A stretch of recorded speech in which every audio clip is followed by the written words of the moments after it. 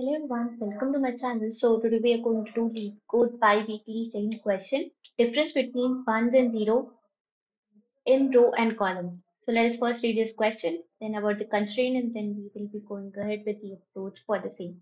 So here, um, let us first read this question.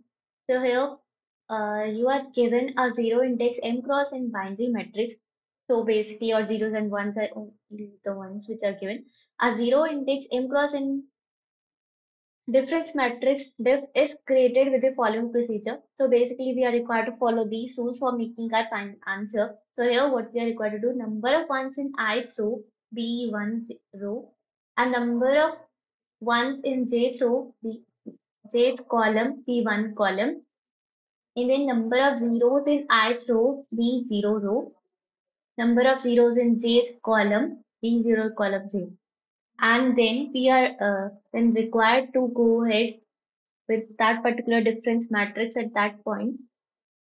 And how it would be calculated would be something like this that one row at ith position plus one column at jth position then subtracting the zeroth row at ith position and zeroth column at jth position. So this is how at every point we will be making our difference matrix.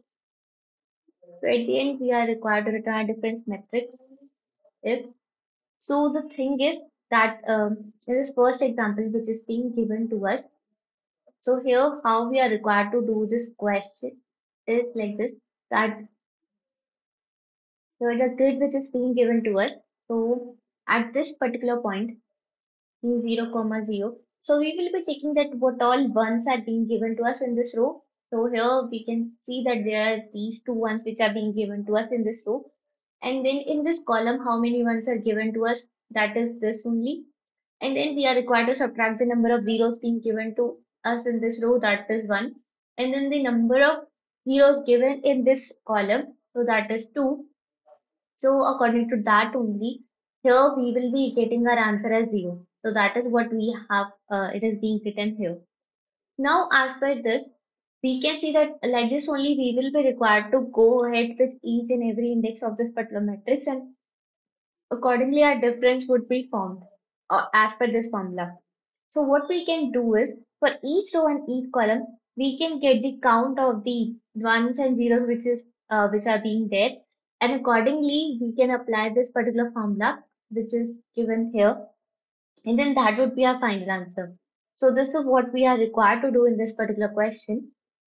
So as per the constraints, here we can see that it's up to 10 to 5. So it can go up to means m into n can go 10 to the power 5. So we can go ahead with the um, order of n solution where n is equals to m into n and it is a binary matrix so no other case is there so now let us go ahead about the coding part for the same. So here what we are doing is that part by part we are checking number of ones and zeros which are being there. So according to that only we are counting for the same. So here first we are checking that how many number of ones and zeros are there in a particular column. So according to that only we have taken here. So what we are doing here uh, as per this particular row and then this is the column. So here uh, we are initializing for at the starting of each row how many number of zeros are there and ones are there. And then according to that next uh, what we are doing at each column we are going ahead and checking that if this much if it is a zero then we will be incrementing at that particular row uh, our zero count. As we will be incrementing our one count. And then at the end when we are able to uh, com completely traverse that particular row, then at the end we are going to fill whatever count was till now at that particular row 1 of 5 and whatever count of 0 which was there we will be filling that at this particular position. So that is what we are required to do here. Now this was for the row part. Now comes the part for the column. So for column also we will be going ahead by doing the same thing. Means taking out the count of zeros and 1 at each column till now. So here, uh, this is for our, this is for our, what do we say that column and this is for our row. So here the things would be like in the reverse order only. Means here we were checking for the columns and now here we are checking for the uh, rows means at a particular column means at this particular rows are like this right and columns are like this so what we are going to do here is that here this column which is being there means at this particular point we will be checking for how many rows which are being there so according to that we will be able to get the count of zeros and one in this particular column so that's the thing which we are uh, doing here and then we are directly showing whatever is being there into this particular means column 1 at this position and column 0 at this particular position. So that's the thing which we are doing here. And then now we have count of each row and column uh, zeros and ones.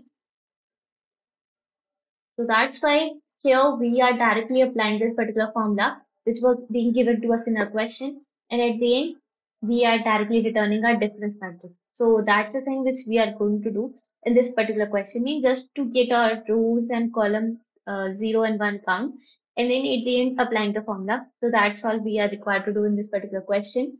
And now comes the part for the time complexity and the space complexity for the same. The time complexity for this particular question is order of n, where order of n I'm referring to the n m cross n only, or I can directly say that the time complexity is basically here. Order of m into n. And the space complexity is also going to be the same only. Uh, or you can directly say that it is order of 1 because we are required to return a matrix and we have only taken this auxiliary matrix for our answer and even these are also there means order of n spaces m and n spaces which are being there so yeah in that context we can say that our space complexity here is order of n plus n so that's the thing for this particular question. If you have any doubt, you can comment it down.